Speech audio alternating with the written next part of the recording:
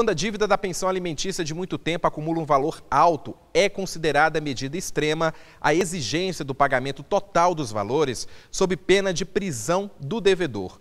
O entendimento é dos ministros da quarta turma do Superior Tribunal de Justiça.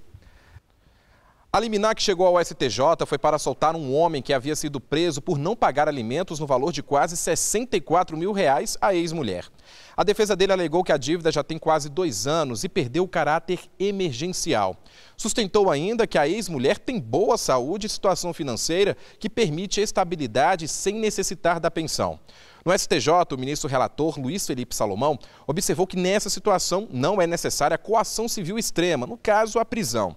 Segundo o ministro, o homem comprovou os acordos com a ex-mulher e os recibos do atual salário dela. Com isso, Salomão concedeu a liminar, mas determinou que o homem comprove o pagamento das três últimas parcelas da pensão sob pena de revogação da ordem.